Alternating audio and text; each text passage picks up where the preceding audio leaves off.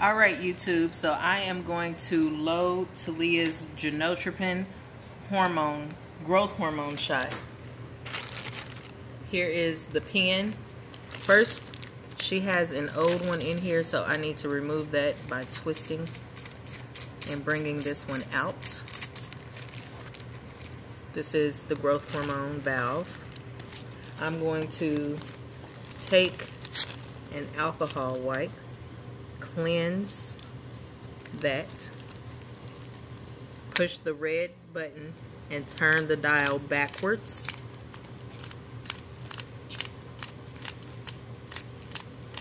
until it stops. That's going to move that on the inside all the way down. Once it stops, I'm going to turn it back, the white line to the black line, push it in, and then I'm going to take it back out she gets 1.1 so I'm going to turn the dial to 1.1 okay. Next I'm going to take the new valve which is already sterile from the package. As you can see there is a liquid substance at the bottom, a powdered substance at the top that sits on there. I forgot to open up my needle. Hang on, you guys. I'll be back. I forgot to open up the needle. You want to sterilize with the alcohol wipe. That. Put your sterile needle on.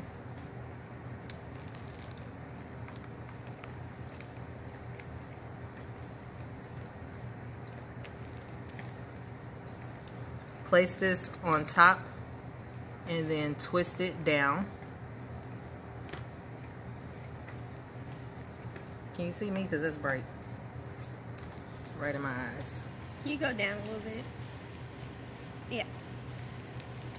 Once it is twisted, the liquid has mixed in with the powder and you gently rock. You don't shake, you just rock it until you don't see the powder anymore. Trent, stop moving so much. Told you you don't have to do that.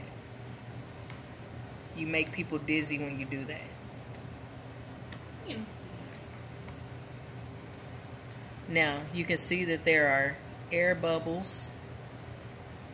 So I am going to press the button to release any bubbles. When you don't see any bubbles coming out, you're done. Okay, there is a cap that goes on it. I suppose this is to keep, come this way please. Go to Talia's leg.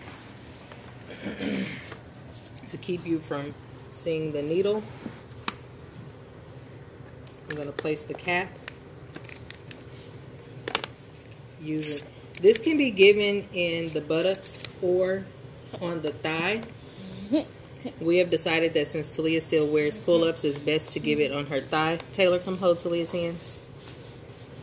Use the alcohol wipe to clean the skin really good. You have to make sure you don't hit a vein. Hold her hands, please. Okay, you're going to pull the muscles taut lift it up, press the button to release the medicine into the muscle. You can relax the muscle, count to about 30 seconds.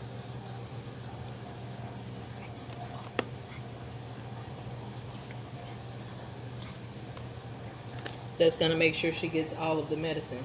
I have to cover her leg before I put the band-aid on because she likes to go and grab where it's at and because it is an opening in the skin, it can cause skin infections.